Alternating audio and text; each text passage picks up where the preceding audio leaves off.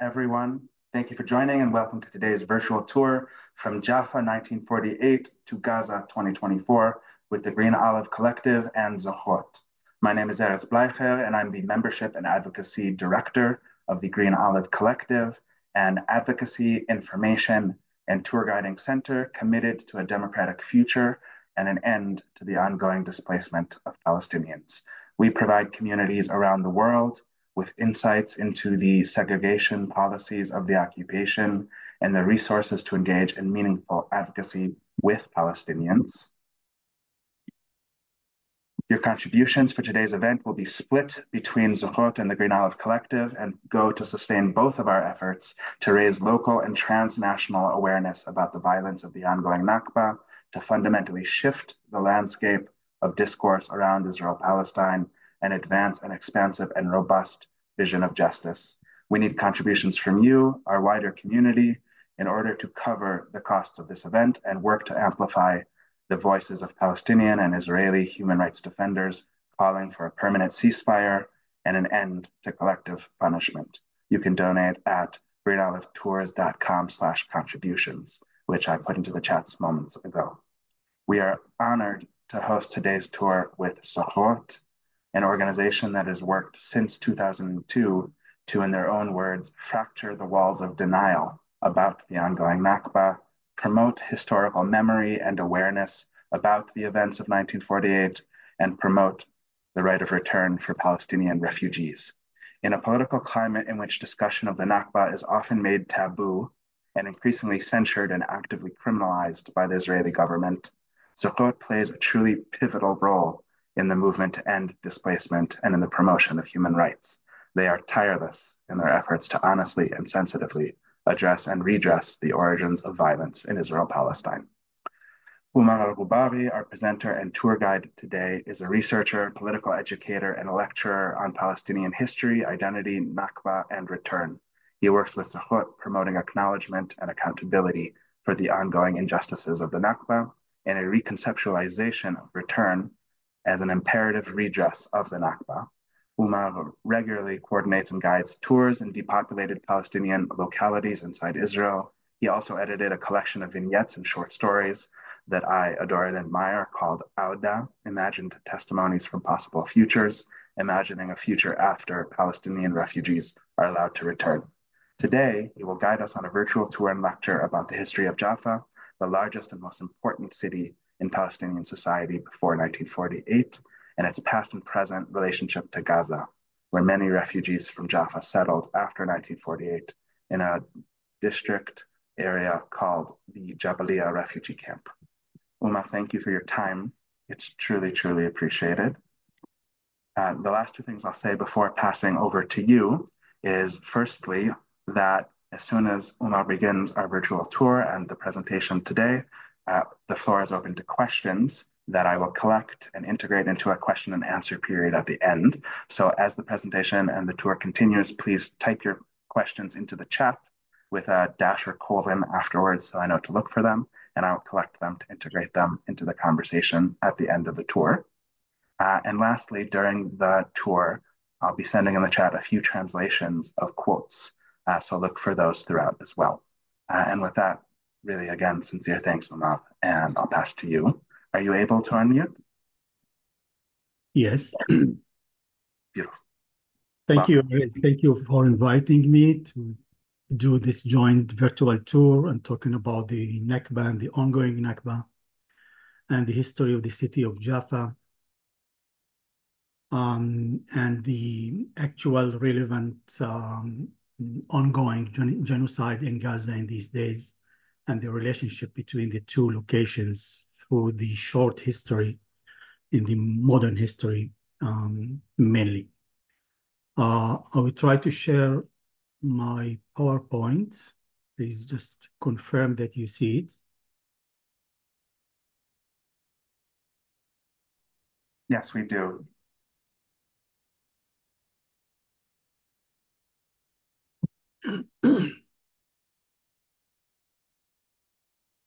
Great, thank you. Uh, what I will try to do is to um,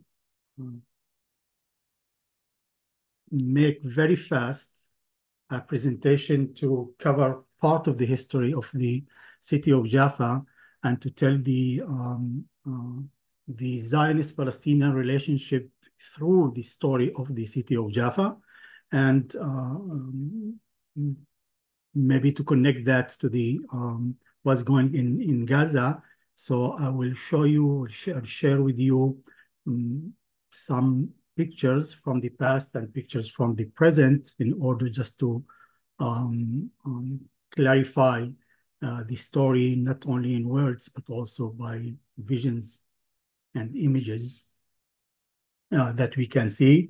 Um, so um, the two sisters we can call Jaffa and Gaza both are very uh, historic uh, cities on the Mediterranean, on the um, in, in Palestine.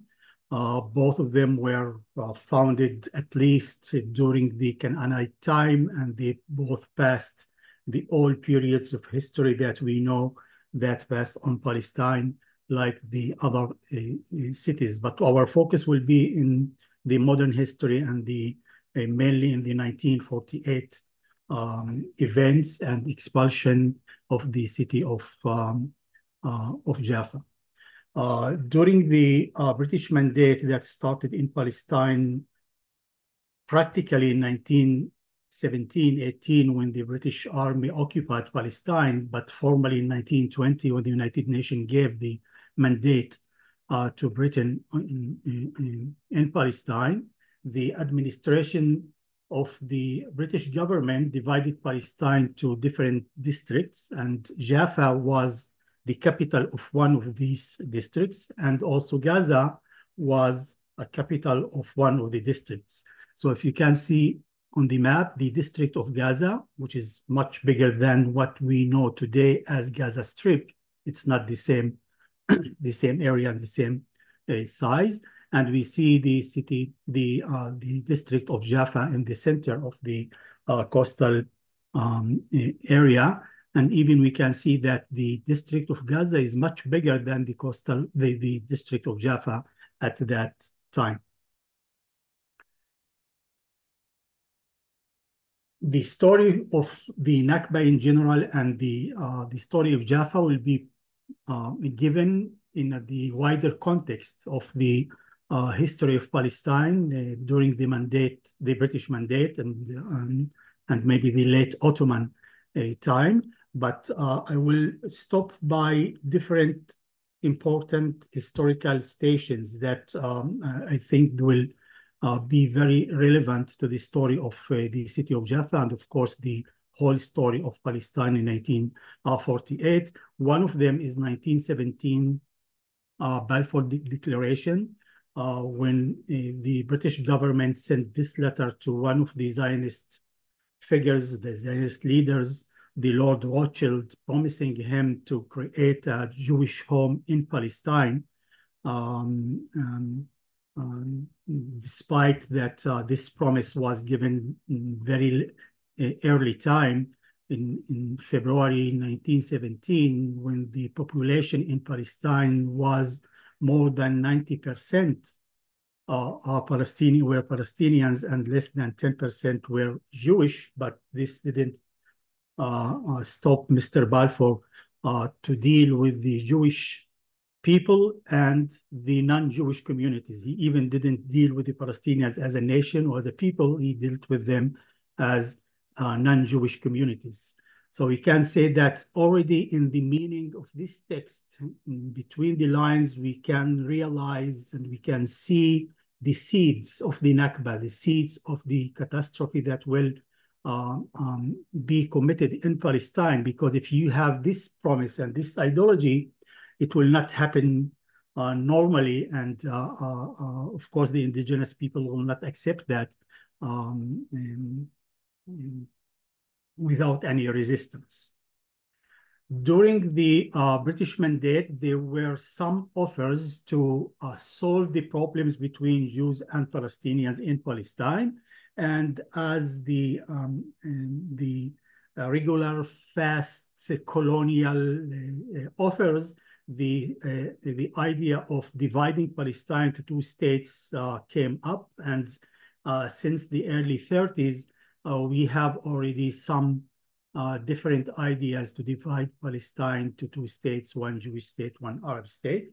We know for sure, and during the whole period, the Palestinians uh, objected the idea of partition plan, regardless if it was fair dividing or uh, good uh, uh, partition or, or, or not. They, they, they, they rejected the idea of dividing their homeland uh, with, uh, with the Zionist movement. And, and at the same time, we know formally that the Zionist movement accepted the partition plan. But historians could go a little bit uh, um, deeper in the uh, in the history and the texts and uh, um, sorry, I will jump to this one.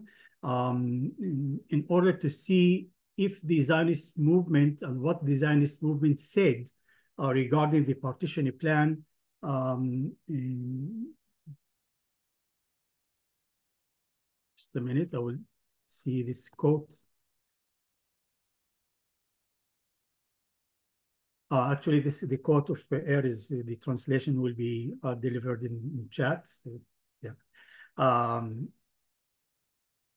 we we have two important quotes regarding the partition plan in the eyes of the Zionist leaders, the Zionist uh, movement leaders in 1937 already.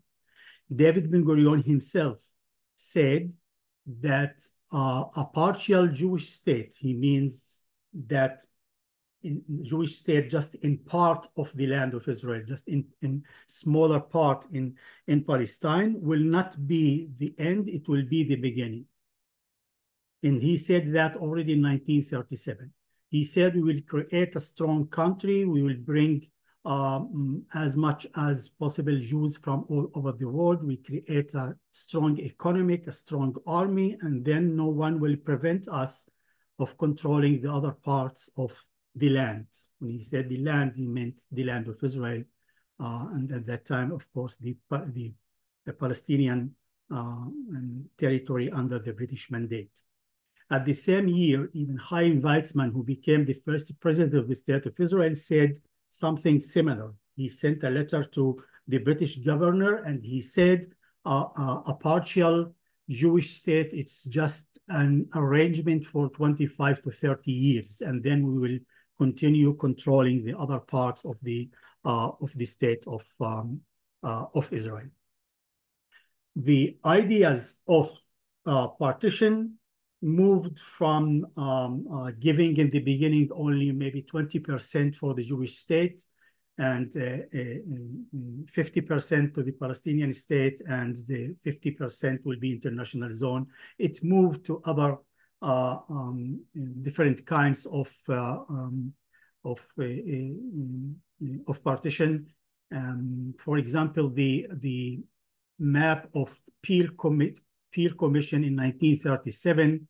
Um, on your left, you can see uh, the colors of the offered uh, Jewish state and the pink one, sorry, yeah, the, the uh, offered Arab state and the international zone in yellow in the middle. All the ideas, by the way, included international zone. What is relevant to our story now for Gaza and Jaffa, both cities, Jaffa, Jaffa and Gaza, in the whole ideas of partition plans were outside of the Jewish states.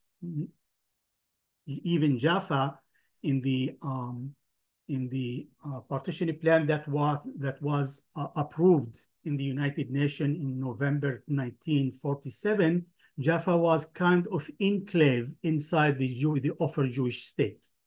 Even in this uh, um, map, um, Jaffa was not part of the uh, of the Jewish state. Of course, Gaza never was um, in these offers, in these propo proposals uh, part of the uh, of the Jewish state.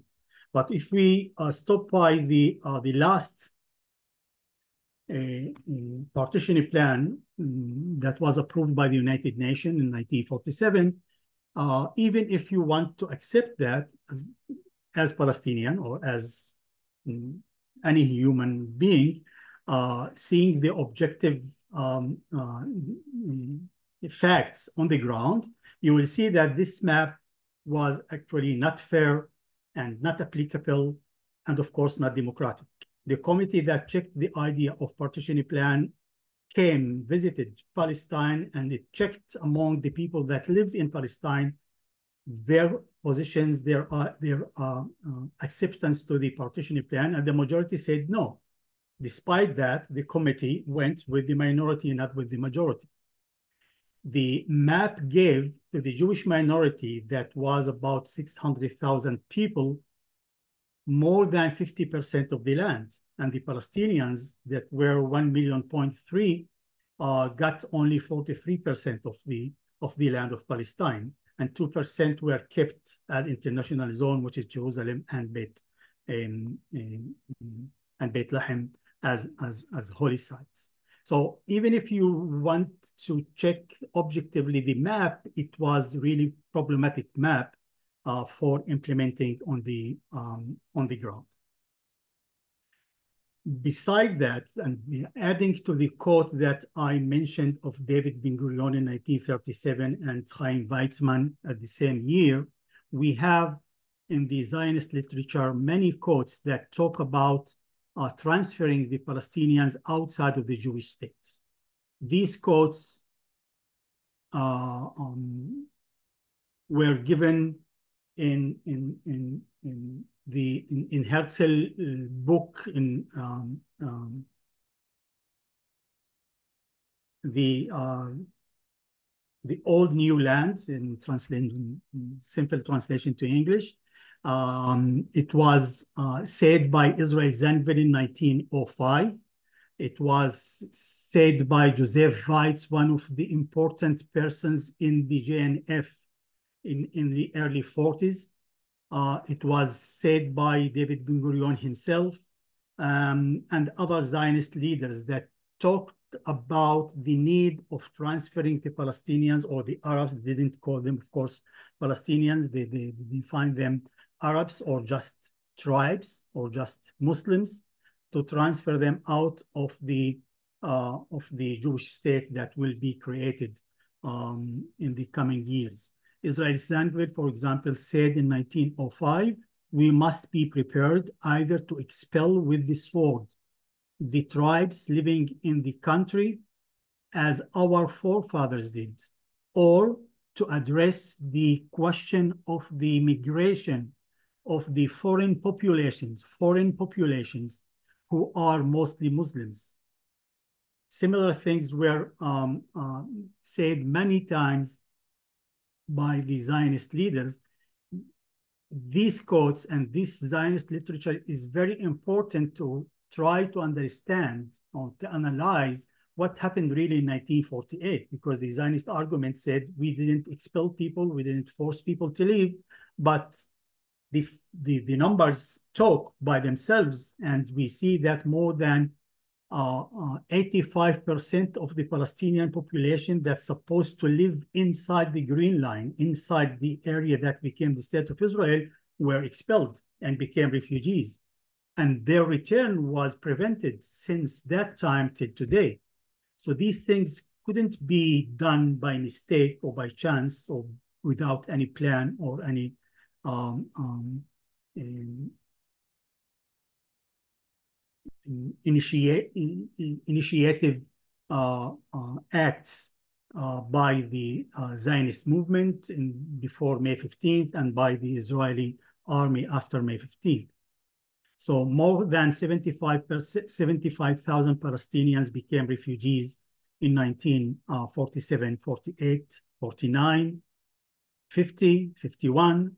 These years are very important to uh, um, um, to put in our mind because the expulsion of the Palestinian population didn't happen during clashes or during war.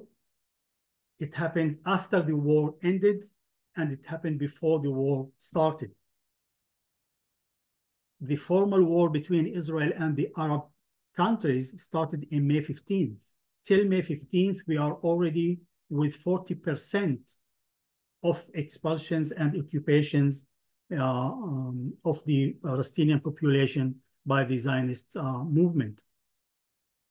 Um, uh, some of these uh, uh, Palestinian communities were expelled in 1950, like the city 51, like the city of Majdal, which is Ashkelon, which is relevant also to the uh, current story with, with Gaza.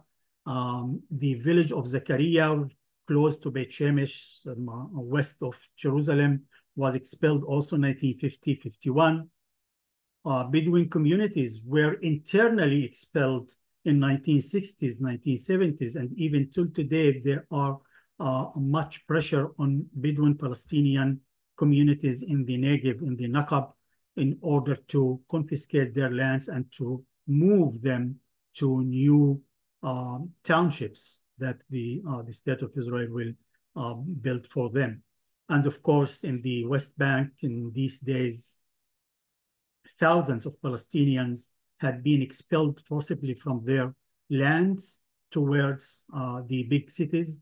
Uh, the area of south of Hebron, Masafer Yatta, and other areas are under serious dangers of and threat of, uh, of expulsion. And some communities were already expelled in the last five months under the cover of the current war on, on, on Gaza. So the result of the uh, Zionist and the Israeli occupations of Palestinian towns and villages was real catastrophe uh, because more than 600 Palestinian cities and towns and villages were expelled and erased and destroyed or colonized after 1948. Only 150,000 Palestinians survived the expulsion and became are part of the state of Israel, citizens of the state of Israel. If we will have time, we'll talk even about these 150,000 because not all of them um, really survived the expulsion. Um, at least 25% of them are internally displaced people uh, inside the Green Line, despite they are citizens of the state of Israel. we still don't have the uh, holistic Zionist plan that describes the uh, um, um, uh, the organized actions or the organized plan of ethnic cleansing. But we do have some small uh, pieces of this puzzle of the whole picture, uh, some documents from the Israeli uh, archives, some testimonies of Palestinians and Israelis talk about the way how these communities were expelled and as I said again in the beginning, in uh, um, the expulsion didn't happen uh, only uh, during war or uh, bombing. It happened through direct orders by the Israeli army to civilians, to communities, to leave their places, and uh, um, and afterward these places were destroyed and erased. Uh, this document, for example, from November 1948, uh, talk about uh, the villages in the area that became in these days under the title the envelope of Gaza, the areas inside Israel in the west part of the uh, of the Naqab of the of the Negev, and uh, uh, some of these areas were attacked by Hamas in the 7th of October attack, uh, like the small kibbutzes and small Israeli communities, uh, Be'eri and um, and the, the other uh, kibbutzes maybe were not in the news like uh, Erez and Kisufim and other uh, Israeli settlements. But in 1948, these villages were occupied and the communities were expelled toward Gaza. It happened that some weeks or months after the first expulsion, some of the families returned to their villages. So this Israeli document from the Israeli army talk about uh, uh, this information that uh, they got uh, um, in, in the text number one. Movement of Arab civilians. And notice they are talking about civilians, not, they are not talking about armed people or, uh, um, or soldiers uh, movement of Arab civilians from Gaza uh, northward to the village of Majdal, which is Ashkelon today, has been observed.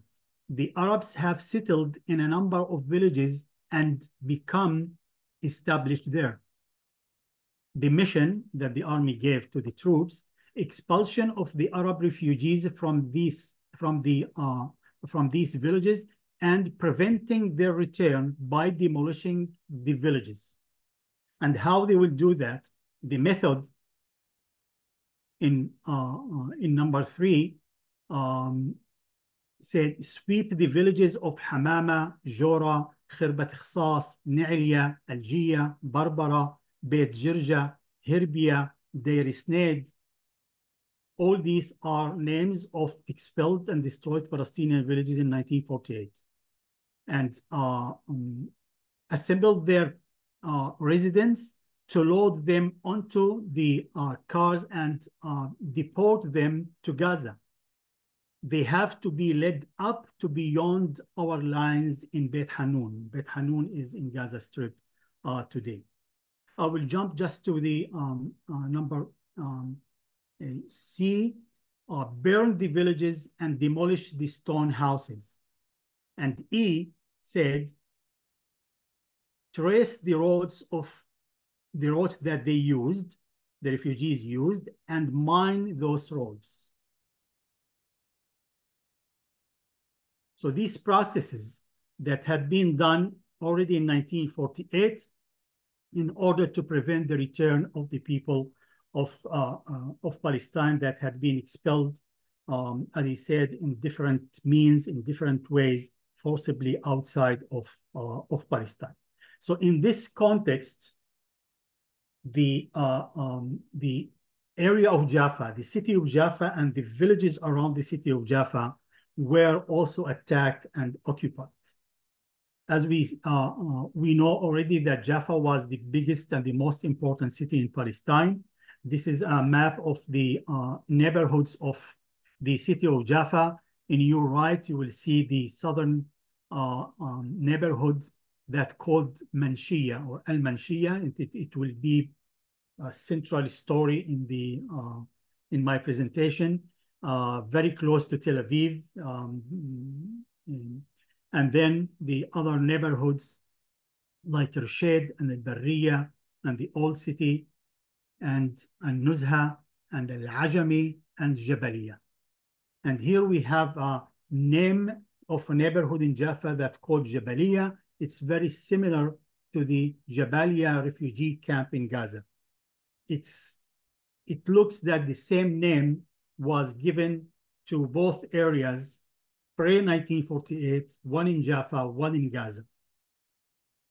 We know for sure from the modern history of Jaffa that some families moved from Gaza to Jaffa and some families from Jaffa moved to live in Gaza so these two cities were really in good relationship uh, um, uh, in trade and in, in, in, visits and also in uh, um, uh, uh, relationship between families. Some of the families lived in Jaffa and some of the families lived in, Uh, in Gaza even before 1948. But the way between both cities was open all the time.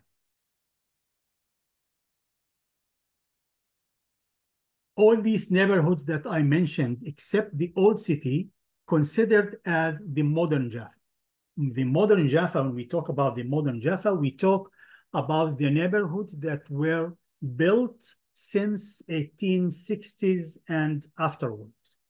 Why 1860? Because the uh, uh, Ottoman Empire um, canceled the law that prevented people to build houses or neighborhoods outside old cities, outside the walls. It was a law in the whole empire, and it was cancelled in 1860. So in 1860s, we see the old cities that used to live only inside walls starting to expand and to be developed uh, in the second half of the 19th century and the beginning of the 20th century, uh, like uh, Jerusalem and uh, Safed and Tiberias and uh, other cities inside walls and Dhaka and Acre, and of course, Jaffa.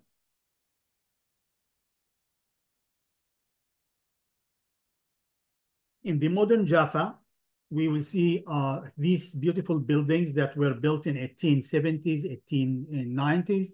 Um, for example, the clock tower, the famous clock tower in the center of Jaffa till today was built in 1901 uh, when the uh, Ottoman Sultan uh, Abdul Hamid II uh, commemorated or, or, celebrated actually uh, 25 years of his sultanism in the Ottoman Empire. And in, in the photo in the bottom and you're left with this huge building with four huge pillars is the front of the Saraya, the palace, the residency of the governor during the Ottoman time. And during the British time, part of the time it was the municipal uh, uh, area, uh, the municipal building. And later on in the 30s and the 40s, it was just uh, a public space, uh, served different organizations uh, in the city of, um, of Jaffa. the building of the, modern Saraya that was built in 1980 in the uh, in the bottom of the left of the screen. Very important. Uh, try to remember this uh, photo, and also the building of the bank on in on our right on the top of the um, uh, of the uh, screen. Uh, this is one of the banks that were built in the area of the Saraya and the clock tower because this was really the center and the heart of the modern city of, uh, um, of Jaffa. Uh, these two buildings, the bank and the Saraya, uh, will be mentioned again in 1948 when they were attacked um, by one of the Zionist groups. Uh, the city was developed as a city of culture. Uh, this is one of the most beautiful buildings in Jaffa that was um, uh, built in the uh, early 30s that called the Theater of Alhambra or Al-Hamra. Uh, by the way, the building is still existing till today and it, it's used for different purposes. But for many years, till 1948, this was a theater and a cinema. And uh, uh, this photo in, in our right from 1935 shows, first of all, the Palestinian flag on the top of the building and the um, um, the poster of one of the Egyptian films um, that was screened inside the hall of the cinema. Um, I can recognize the actor. I think it's Anwar Wajdi, one of the most famous uh, Egyptian actors at that time. Inside the hall, we see one of the uh, orchestras that the uh, students of uh, Jaffa uh, played inside uh, inside the hall. Um, announcing uh, famous singers from the Arab world that um, uh, arrived to Jaffa and other cities in Palestine um, uh, to sing or to show. Um, and,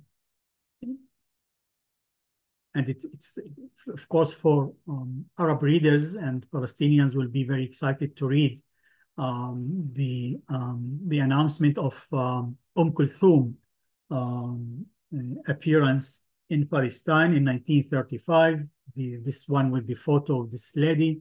This is the famous singer from Egypt, Umm Kulthum, uh, that um, uh, actually made um, the the appearance of uh, the new songs, starting from Cairo, Alexandria, passing to uh, Jerusalem, Jaffa, Haifa, Beirut, Damascus, Baghdad.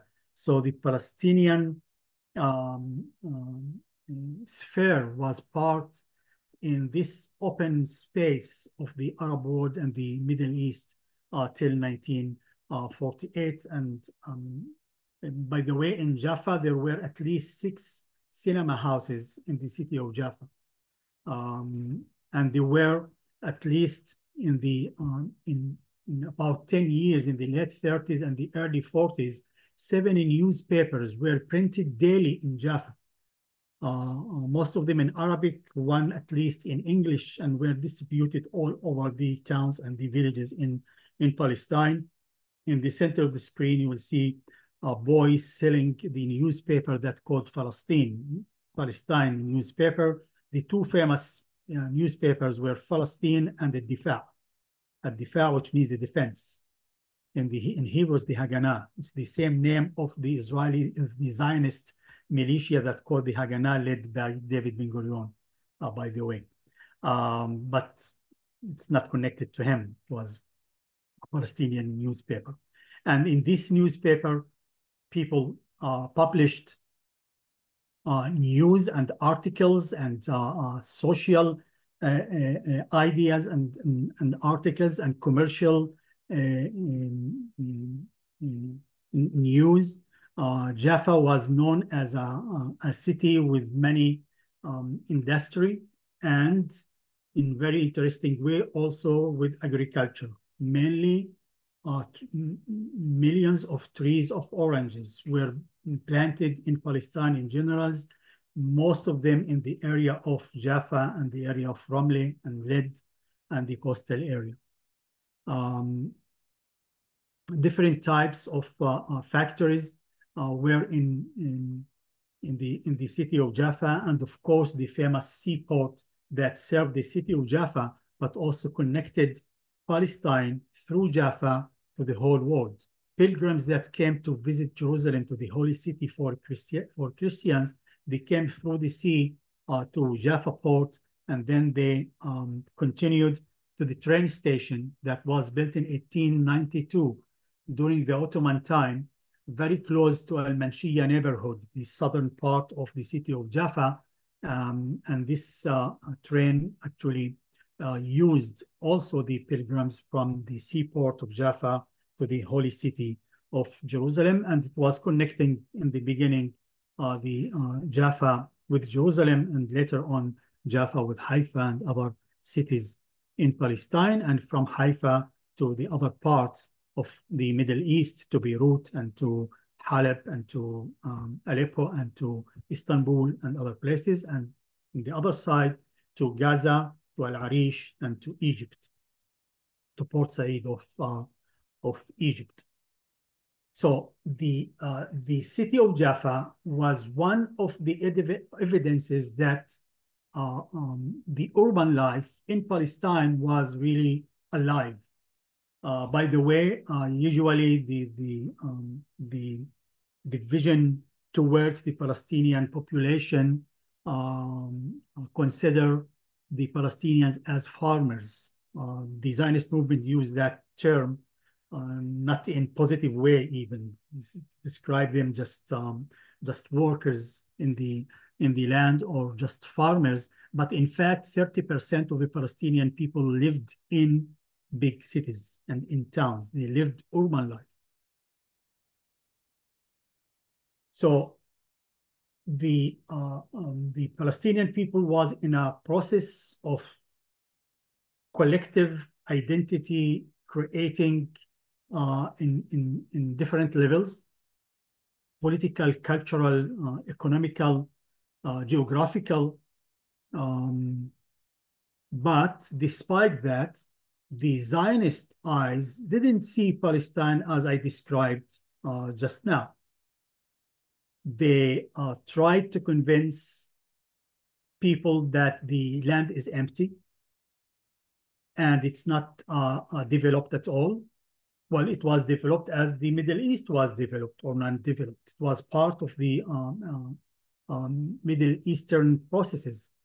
Um, but worse than that, the uh, specifically to Jaffa, some Jewish community lived in Jaffa uh, in the modern history in the in the in the second half of the 19th century, a little bit after, uh, there was a small Jewish community living in Jaffa.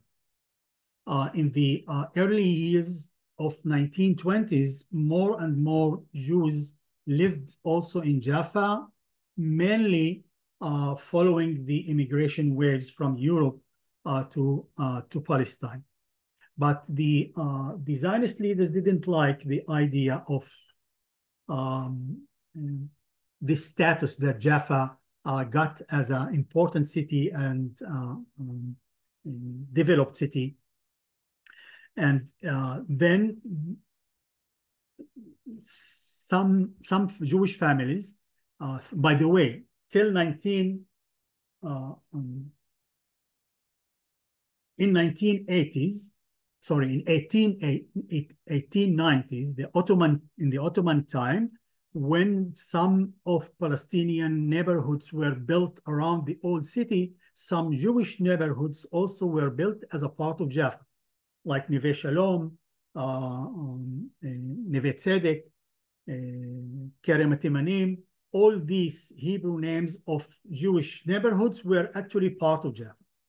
In 1906, some Zionist group came with the idea to build new neighborhood in Jaffa, and they started building a neighborhood called Ahuzat Bait.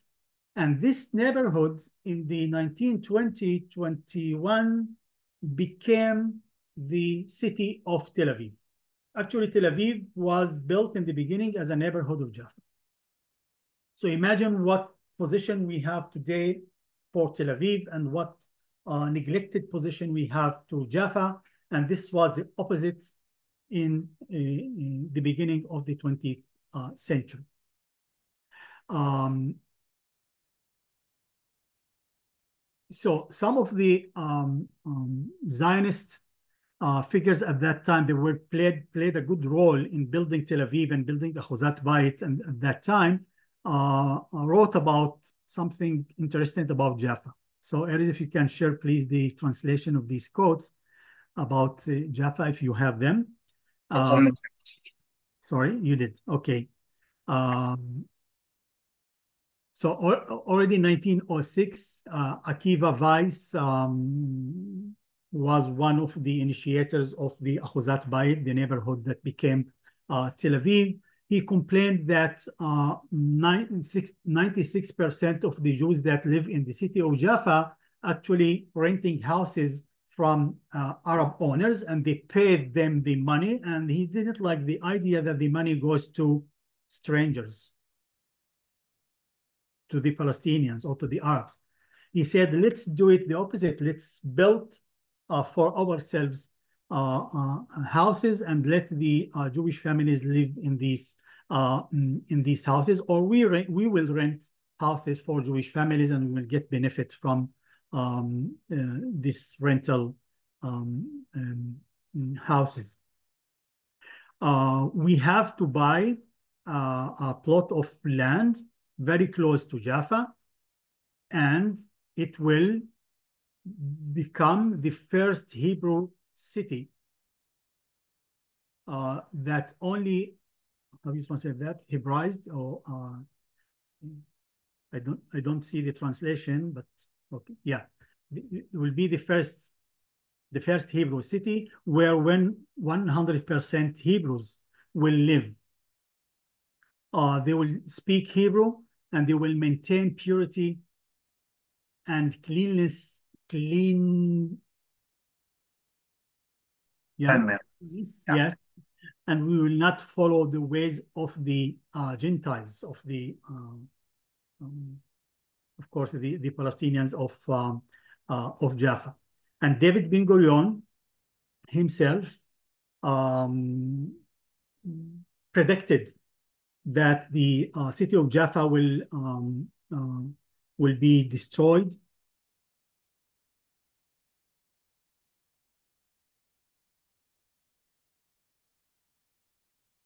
you have it?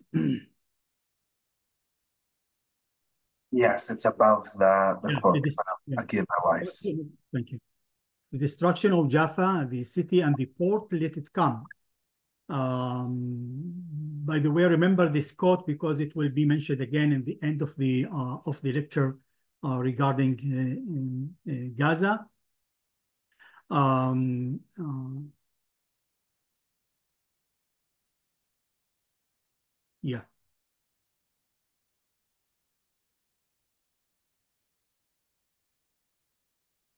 Yeah, even he, he, he used that term here in Hebrew, Tiret Shaol, it, it will go to hell. Uh, if if the city of Jaffa will go to hell, I will not feel mourning on uh, um, on it. Um, so how how important he saw creating a Hebrew city, a Jewish city, uh, that will replace uh, Jaffa in, in the Mediterranean. He wanted Jewish Sea, uh, pure Jewish Sea uh, instead of, uh, of Jaffa. So this approach towards Jaffa from the colonial superior uh, uh, position uh, towards the indigenous people of the city of Jaffa um, reflected um, that the coming years and the tension between the Jewish Zionist community and the Palestinian, uh, the Palestinian city. And um, um, since the early 20s, there were some uh, points in the um, uh, history of Jaffa and Tel Aviv that faced clashes between the Palestinians and uh, the um, uh, and sometimes with the Jewish communities, sometimes with the um, militias like the Haganah and the Etzel and the Lehi, the Irgun, and other Zionist uh, Zionist groups. So Jaffa was the real capital of Palestine. So it was also uh, expressed by political uh, uh, activism, by resistance to the British colonialism and the Zionist movement.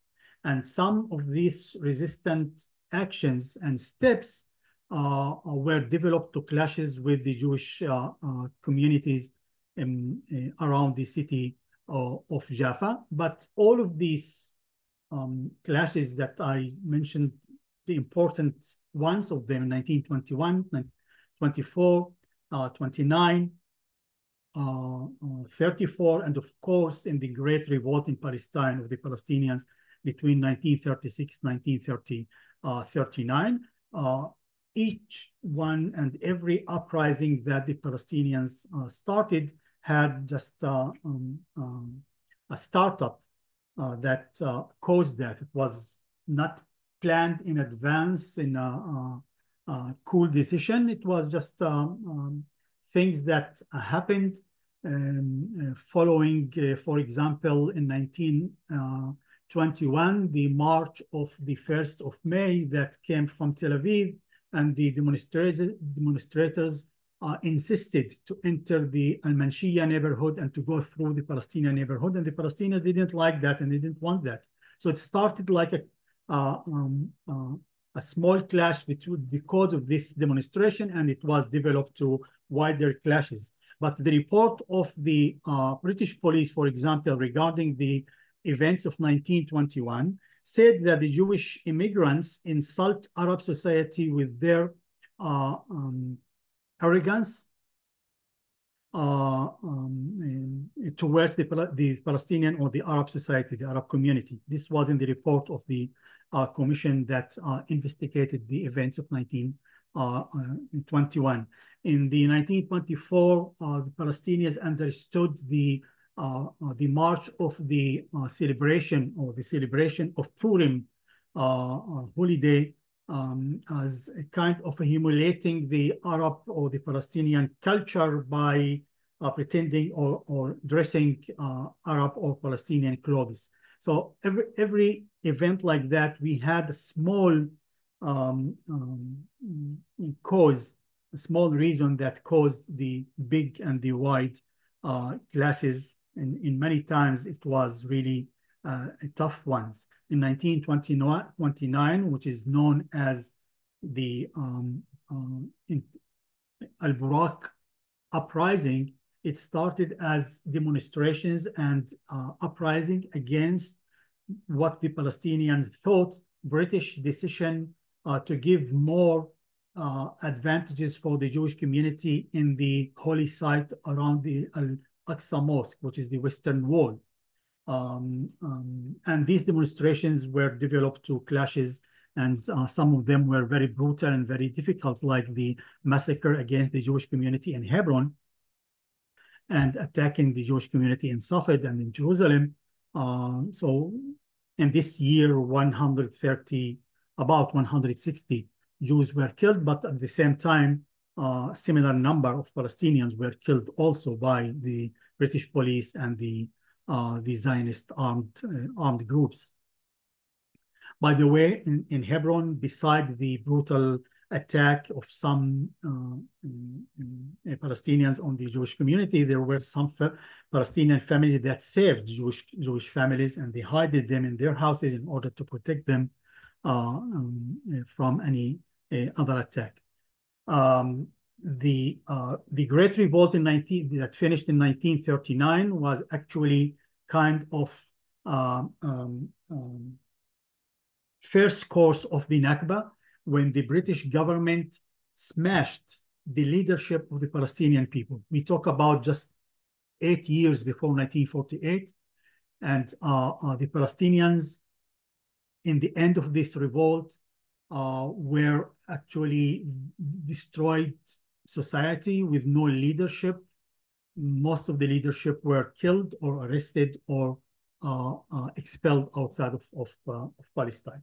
So from that time, that time till 1948, the the the events that were planned by Britain and the Zionist movement uh, had very good chances to succeed because of the uh, conditions of the Palestinian uh, um, community conditions at that time.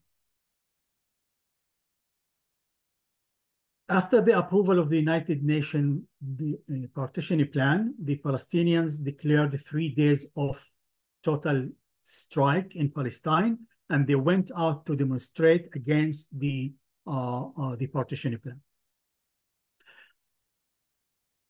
The uh, next day, they attacked some Jewish shops and stores and houses in Jewish neighborhoods, and it was uh, uh, spread to wide clashes in all uh, in all Palestine. But at the same time, things that we don't learn, we don't hear uh, much, that some of the Zionist groups started already in December 1947 to attack Palestinian communities also. And uh, um, it happened in Jerusalem, in the village of Lifta, in order to um, conquer Jerusalem despite it was outside of the Jewish state according to the partition plan. And also the attacks on the city of Jaffa started in the end of December, in the end of 1947, despite the fact that Jaffa also was out uh, uh, of the, Jew the, the offered uh, Jewish state according to the partition plan. The organization that called the Irgun or the Etzel attacked um, in, in, Jaffa uh, in December 7 and burned uh, houses of Palestinians in some of the neighborhood of, uh, uh of Jaffa. They threw um, um, a TNT uh, can to the Alhambra cinema that we saw the photo of the theater uh, before in King George Street um, the uh, organization that called the Lehi or Stern organization attacked these two buildings, Saraya, the residency of the governor. You see this building in the center of the black, white, black and white uh, photo with the four pillars. This is the Saraya that we mentioned before. And close to the Saraya, there is the bank, the Barclays Bank. Members of the uh, Stern organization had a car with uh, um, um, 500 kilograms of uh, um, TNT, and they parked the car between these two buildings, and they exploded the buildings in January 1948. They claimed that the building was the center of the High Arab Committee in Jaffa. In fact, it was not there.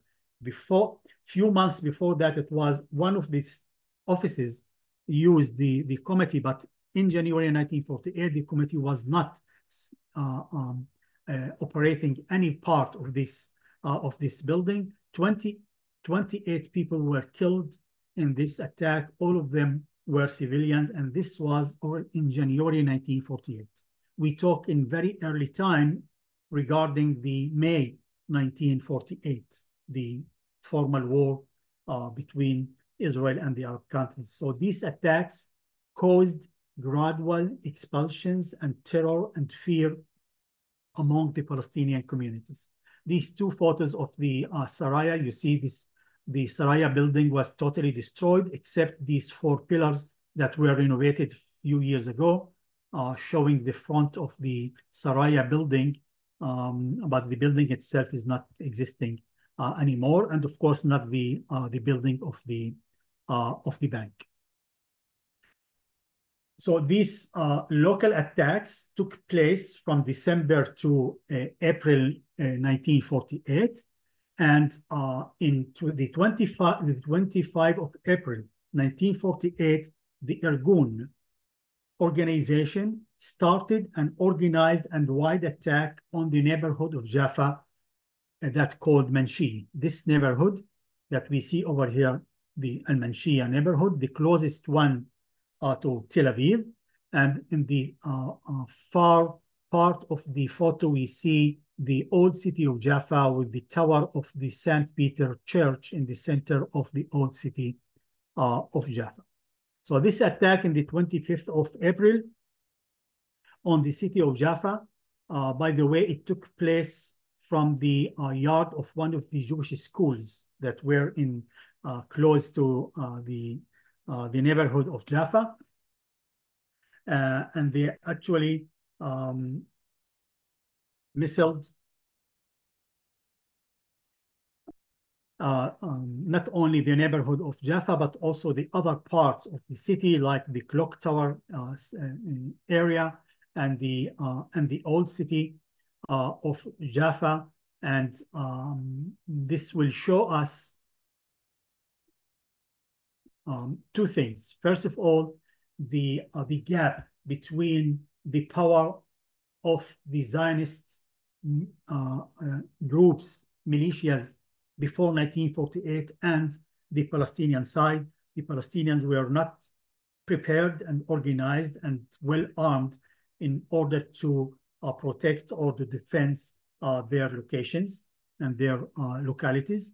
Uh, even the biggest city and the strongest city of Jaffa that tried in the beginning to fight back against the attack on the city, but they didn't succeed uh, um, as we will see very, uh, very soon. Um, the other thing is that the uh, the the goal of the attacks on the Palestinian population in most of the cases continued beyond winning the, the winning the battle, winning, winning the war. When the war actually ended and the Palestinians finished their uh, bullets and the, the, the withdrawed or uh, were defeated, the uh, Zionist groups continue uh, the attack and they uh, uh, expelled the civilians and the families outside of their houses and their neighborhoods and their cities, which is very important to understand the um, the the purposes beyond the attack. It's not only uh, as a defense attack in order to stop firing uh, the uh, uh the Zionist side or the uh, Jewish neighborhoods. That's correct. Some of the Palestinian armed groups uh, um, shooted towards the Jewish neighborhoods that were close to to Manshia, to, to, to Jaffa. They didn't have any plan to occupy Tel Aviv or to expel the people of Tel Aviv. They just wanted to um, to disturb the Zionist project and to attack Jewish or Zionist uh, um, um, institutions or, or neighborhoods. But the Zionist side had uh, fully uh, um, organized plans and they were well armed and well prepared in order to achieve this achievement like we see in this, uh, what we see in this uh, photo. This is the same neighborhood, Manshia in 1948 and Manshia in the end of 1948, most of the houses were destroyed um, as a result of bombing by the Irgun uh, organization.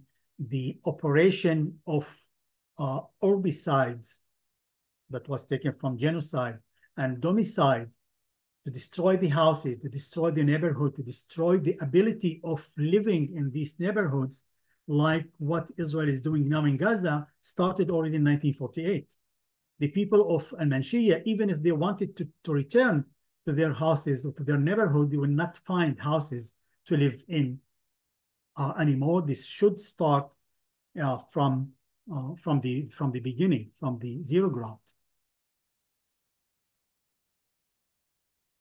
One side of the uh, uh, of the Zionist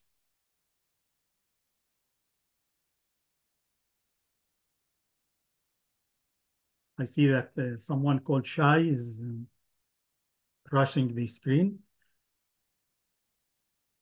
Um, um, in the in the photo, the yellow one in the top of the screen, you see a, a very uh, famous uh, piece that was painted by famous Zionist painter called Nahum Gutman. And he painted the beginning of Tel Aviv, modern houses of the neighborhood of Tel Aviv, and the old city of Jaffa in the end of the uh, of the piece. You see the tower of the church of St. Peter, but between them, he saw nothing. In fact, the neighborhood of Manshi and other neighborhoods of Palestinian neighborhoods were between um, uh, these locations, but he uh, decided to show that the area is empty. The area has nothing except maybe some oriental uh, old city and modern Tel Aviv Jewish neighborhood and nothing between them. And he just avoided the Palestinian urban modern neighborhoods like Manshi and the other neighborhoods that were destroyed. And in these days, if you visit this area, we'll see the promenade of Tel Aviv actually covering the neighborhood of Manshi, the neighborhood of Manshia, and they created the Charles Clore Park and uh, this uh, area that we see in the photo on our right and the bottom of the of the screen. And this, I think, four stages of uh, uh, the neighborhood of Manshia can reflect the ideology and the practices of the Zionist movement towards the majority of the Palestinian localities by saying it was empty and in fact they emptied it and destroyed it and erased it and built uh, a new Israeli and uh, uh, Hebraized uh, view and, and, and neighborhood. So this attack that started in 25th of April 1948 continued to the uh, middle of May 1948. In the beginning, it was the smaller organization that called the Irgun, but the Haganah, the, the, uh, um, the main organization that led by David Ben-Gurion continued the occupation of the city of Jaffa, bombing the city from outside for about three weeks. And the city actually was expelled under these uh, um, uh, bombings, weeks of bombings. Um, uh, we have many testimonies of Palestinian refugees that describing these moments and these days uh, till they uh, had to flee and to leave uh, their um, their city. even Abu Iyad, who became the one of the leaders and the members of the PLO that was assassinated by Israel in Tunisia, um, uh, he was formerly from, from Jaffa, and he found himself and his family in Gaza after he was expelled from the city of Jaffa. And uh, in, in, he said that in May, 30, in May 13th, uh, 48, less than 24 hours before the declaration of the State of Israel, my family fled from Jaffa to escape by sea under a shower of shells from the uh, Jewish uh, artillery the massacre in Deir Yassin, which happened about one month before, caused terror among the uh, my people. Uh, before every attack, uh, they would warn the uh, the residents, the Palestinian residents, that their fate will be like the fate of the people of Deir Yassin if they will not evacuate uh, uh, their place. So this psychological war using the massacres in other places uh, was very useful in order to push the people to flee and to uh, leave their places. Thousands, even tens of thousands of Palestinians were pushed towards the seaport of Jaffa, and they jumped to any boat or any ship in order to look for a shelter or to go far away uh, from the city of Jaffa under bombing. Thousands of them were taken by the boats to the uh, um, to the north towards Beirut in Lebanon, but thousands, many thousands of them were taken to Gaza. And these photos, at least the one of the bottom, is when they arrived the port of Gaza in 1948, looking for a shelter in the city of Gaza. And within less than one month, within three weeks, the city of Jaffa that had more than 70,000 people and the district of Jaffa that had about 120,000 people were actually uh, uh, the this area where uh, was emptied and the more than 95% of population were forcibly expelled. The Palestinian writer Tamam al-Akhal, writer and painter, Tamam al-Akhal, uh, formerly from, uh, originally from Jaffa, living in Jordan, she uh, met in 1997 uh, families from Jaffa that still live in Jaffa, survivors that still live in Jaffa.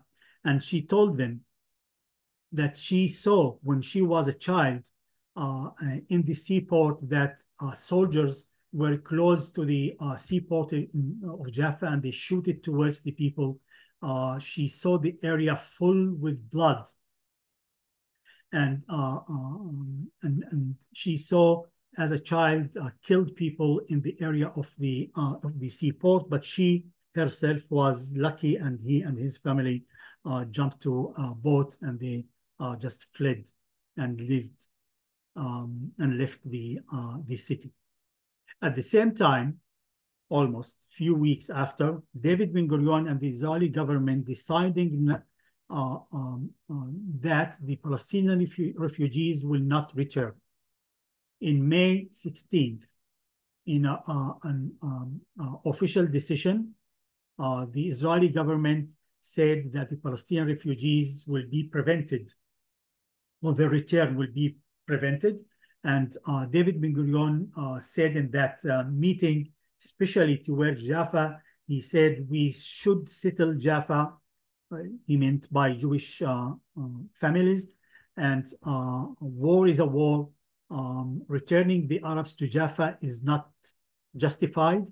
Um, um, and I will be supporting the decision that they will not return even after the war will end. Very similar to the uh, declaration of the Israeli leaders in these days regarding Gaza, or at least the desire of the some of the leaders in, uh, in regarding Gaza. Umar? Yes, please. You had asked me to let you know when we have about 10 minutes to go.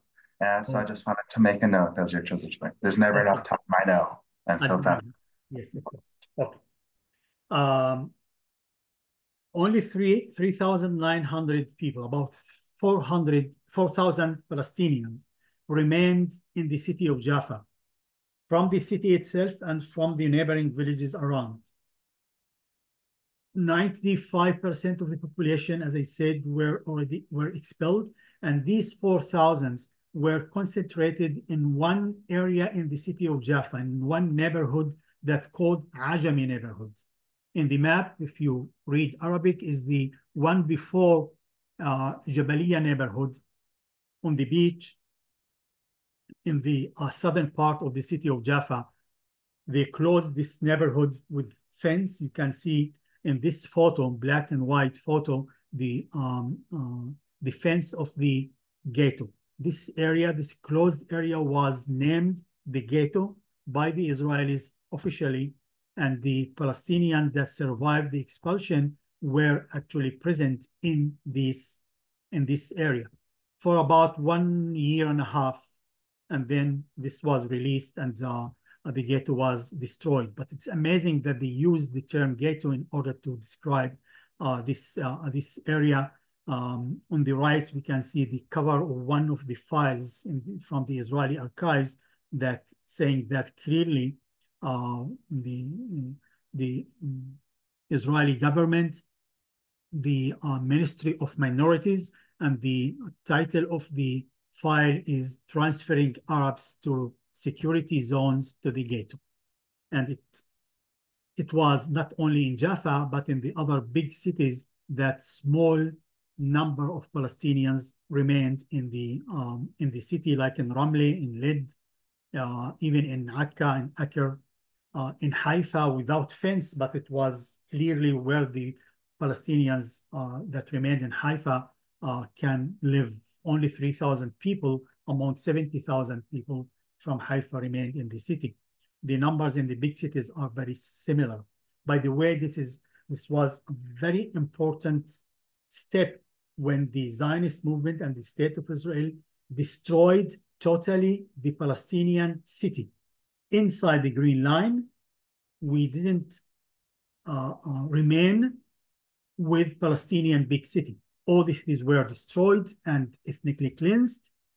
We uh, remained only with small villages and uh, maybe the city of Nazareth that was not so important before 1948 became or forced to become the uh, uh, the city of the Palestinians, the Palestinian minority inside uh, the state of Israel. But this uh, way of smashing the Palestinian city actually part of destruction of the Palestinian collective identity and collective uh, possibility uh, to be developed um, as a nation or as a collective um, community.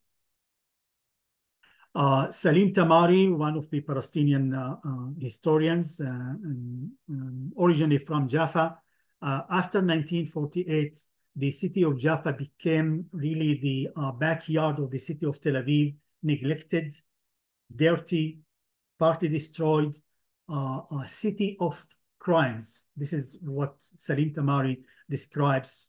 It became from the, the bride of Palestine, the king of the, the the Prince of Palestine uh, um, uh, to the um, spot of the hash of the uh, drugs of Israel. And this is the situation of Jaffa for many years, till at least the, um, uh, the 70s. Sorry. Um, very fast, if we go now to Jaffa, we'll see what remained despite the eraser, the process of erasing the Palestinian identity, but the city still strong. And if you look for evidences of the life of the Palestinian uh, uh, city before 48 and before the destruction, you will see that and you can find that. You can find the uh, Hassan Bek Mosque in the middle of Israeli touristic area in the promenade of Tel Aviv without any community or any house or Palestinian houses among high buildings and hotels that still standing till today after many years of um, of attacks and, uh, um, and, destruction. It was renovated during the 90s and now it's uh, um, um, operated as a as a mosque, but yeah, in very strange situation inside. It looks inside Tel Aviv uh, but it's the evidence and it's the proof that Jaffa uh, reached that, uh, that area. On the beach of Tel Aviv, south, five minutes walk of the Hassan Bek Mosque, you will see the museum of the Irgun, of this organization that occupied and expelled the neighborhood of Manshiyeh, um, getting a Palestinian house uh, and um, uh, designing it as actually it's more than one house, it's three houses, designing them as a museum for the heritage of this organization that, by the way, uh, considered by the British government as a terror organization and the leaders of the organization were wanted by the British law and they believed that the state of Israel should be built not only in whole Palestine but also in Palestine and uh, Jordan and their logo is decorating the entrance of the museum in the center of the promenade of Tel Aviv till today, kind of legitimizing this idea. Uh, we'll see the uh, the building of the um, uh, the train station that's still standing, but with no train station. It's not uh, working there anymore since the um, the 90s. Um, some of the uh, the great mosque that was also re renovated in the 20th the, the years of the 2000s, uh, the old city, the seaport, and very beautiful things that we still see in the city of Jaffa. At the same time of expulsion the city of Jaffa, many villages in the district of Gaza were occupied and the population were expelled. Not the city of, Jaffa, of Gaza, but the villages mainly in the north of the, the city of Jaffa and uh, east the city of Jaffa. In the district of Jaffa, there are about 45 Palestinian villages that had been uh, expelled in 1948, and all these refugees were pushed to the what became Gaza Strip. So what we see in the map on our left, the small part in green that called Gaza Strip was not existing before 1948. It was created as a result of the Israeli occupations in the area around the city of, uh, of Gaza. Um, even in 1949, Israel and Egypt took one more piece of the Gaza Strip and annexed that to Israel. And uh, instead of 550 kilometers square, the Gaza Strip became only 365 kilometers square. In this area that became the Gaza Strip, used to live till 1948 about 60,000 people in Gaza and Rafah and Deir el-Balah and the other uh, towns around Gaza. This area forced to accept 20 100,000 Palestinian refugees, more than three times of the number of the original population in the, in the strip of Gaza, which is amazing. How come this small area can give space and life and place for so big number of Palestinian refugees that came from the area around the Gaza district, from the Naqab area, the Negev, some from the city of Ramle, some of them the city of, uh, of uh, Lid, and also in Majdal, which is Ashkelon, Ashdod, Asdod, and also from Jaffa. And again, we can see the disconnection in, um, um, in, in, in tragedy between Jaffa and Gaza that many refugees from Jaffa forced to move towards Gaza. And some of the families from Jaffa were split some remained in Jaffa from this small number of the survivors, and some reached uh, uh, the, uh, the Gaza Strip. In this small strip, the United Nations intervened and the Egyptian government and the Palestinian leadership, and they built uh, um, uh, um, eight official refugee camps for the Palestinian refugees. The biggest one uh, is Jabalia refugee camp and Rafah refugee camp tens of thousands of people living in these camps in very mm, hard uh, conditions in Gaza Strip since 1948. But the Palestinian refugees took with them also their original identity.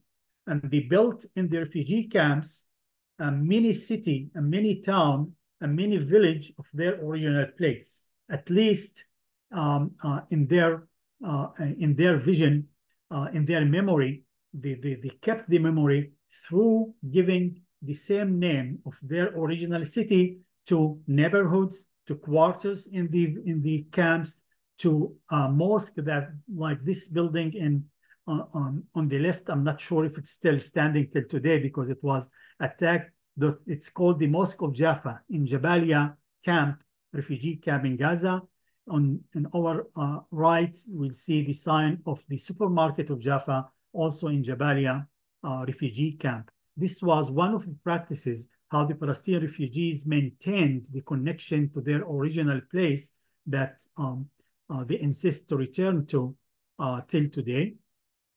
I will skip these uh, stations of the Gaza Strip history, but uh, between 1949 to 1967, it was under the Egyptian control and it was occupied once again by Israel in 1967.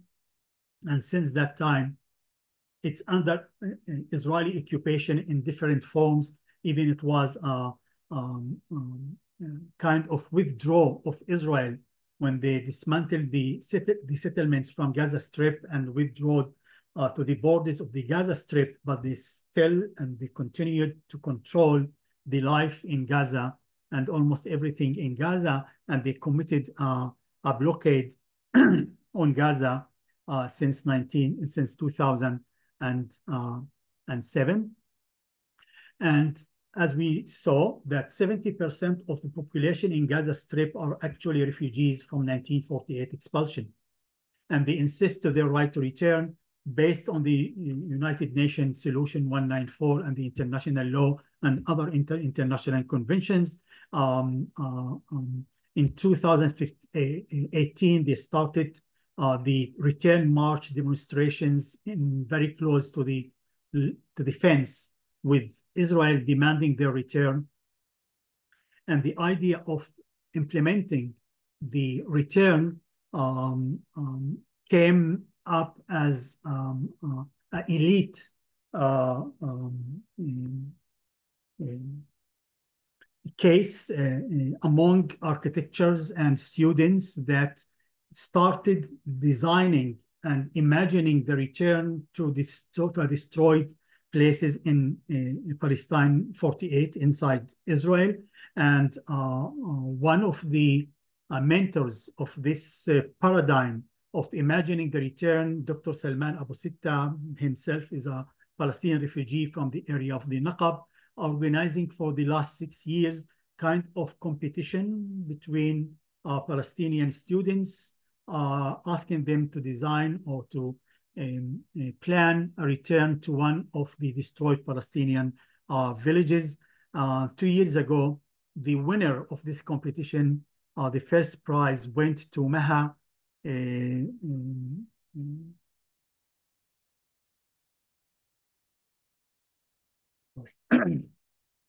Um, um, Maha Jamal, I, I, was just in that uh, event in, in, that happened took place in Zoom, and I, we talked to her and saw her project. Uh, she planned a return to a, a, village in the Galilee that called Suhmata, and uh, she got the prize. And unfortunately, uh, three months ago, she was killed in one of the Israeli bombing in, in Gaza. So when David Ben Gurion said in 1920s that if Jaffa went to hell, I would not count myself mourning um, um, or among the uh, mourners uh, on this city. Uh, regarding Gaza, uh, the former Prime Minister Yitzhak Rabin said in 1929, I wish I could wake up one day and find that Gaza has sunk into the sea. I don't know what the plan of Israel in these days regarding Gaza, but we heard a lot of declarations and uh, uh, visions of Israeli leaders talking about smashing Gaza, expulsion of the population of Gaza, uh, settling Gaza, Judaizing Gaza, I'm not sure that it will succeed this time, but at least the ideology of beyond these attacks and uh, uh, brutal um, uh, uh, attacks on Palestinian communities that taking place in these days against Gaza, um, unfortunately, is not a new one. It started at least 76 years ago. Thank you very much. and sorry it was longer than we planned. so poignant and important. Thank you for your expertise, your scholarship, your perspective, um, and most importantly, also for highlighting the ways that what's happening now, what happened in the past, and what can happen in the future, both for good and bad, are all connected. That what happened in Jaffa in 1948 and what's happening today in Gaza are connected in conversation and part of one historical process and one historical project, which is the ongoing Nakba. Um, and I just, for myself, teasing out some of the connections uh, and historical resonances that you pointed out is so useful. Here, learning and hearing about Ghetto Ajami um, is useful when thinking about Gaza, of course, since 2007, sometimes referred to as Ghetto Gaza. Uh, learning about the thousands displaced to Gaza and understanding that the people now being displaced from the north to the south of Gaza, many of whom are now in Rafah, uh, are people also displaced from Jaffa and throughout 48. Um, all of these things are very important in our conceptualization of the current moment and what it demands and what justice and future can look like. Um, and so moving to see Maha's plan, vision, brilliance, imagination, um, and creativity, concrete, practical creativity and imagining what Jaffa could look like in the future for herself and others and her community. Um, we don't have so much time for questions. Um, practically from the audience, there was one question about how many Palestinians live in Jaffa today. Do you know or, or not off the top of your head? Um, yeah. the um, by the way, Jaffa was annexed to the municipal uh, area of Tel Aviv in 1950, and it became a neighborhood of Tel Aviv. And now you imagine the uh, the trauma of the Palestinians, the trauma of the Palestinians when they think about Jaffa before 48 and Jaffa uh, in, under Tel Aviv. And uh, during the time, it was settled by uh, mainly Jewish families. Some Palestinians from other places came to Jaffa for uh, work and uh, different jobs. In these days, there are about 90,000 people living in Jaffa. 30,000 are Palestinian Arabs and about 60,000 are Israeli Jewish. Thank you. Um, and for those who are looking to learn more about Jaffa and its past and present, I'll try to send some more resources along with the recording of this event uh, tomorrow or the next day. We also in Green Olive talked with Abed Abu Shahade um, in recent months about the conditions in Jaffa and the crackdown on uh, free speech and popular assembly taking place since October and before. Um, and if people want to reach out to Umar, please also be in touch. And uh, of course, Zochrot um, is happy to lend its expertise and its perspective it's, and the invaluable work and research that they do to other projects looking to build a vision of justice, develop historical memory, and a vision of re practical return. Um, with that, unfortunately, we're out of time for today. Um, and I hope everyone uh, learned as much as I thought I did on this tour and will join in the future.